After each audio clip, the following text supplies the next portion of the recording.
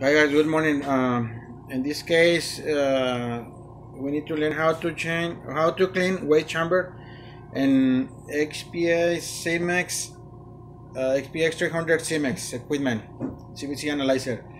Uh, first of all, we need to alert on the screen clean waste chamber. It's a regular maintenance. It's depending how to use, how frequent you use.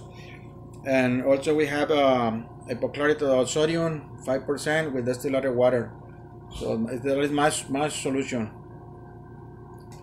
Uh, in this case, only we need to do is uh, open my uh, reservoir and put in the needle inside. And after that, put the um, a green boron and I wait for aspirate. And the equipment is aspirating right now the solution and clean the pipes inside. And after that, close my solution, and that is it.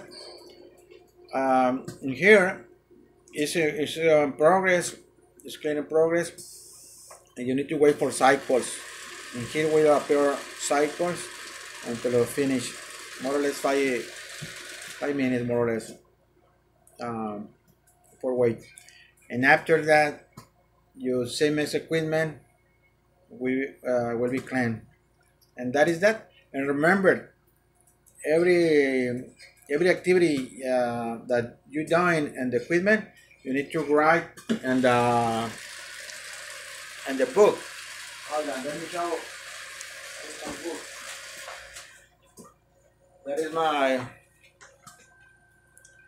my record maintenance. We need to register um, waste chamber. So for today is 524 2019 initial technician and that's it. Remember every every activity uh, you done in the equipment you need to register it. It's very important because uh, we need to follow the the the CLIA or COLA uh, instruction for uh, this activity. So that is my book, keeping my record, and that's it. Uh, there is a the cycle you need to finish until this one. And after that the equipment given another screen that is well ready that's it. Okay guys thank you for watching. Me thank you. Bye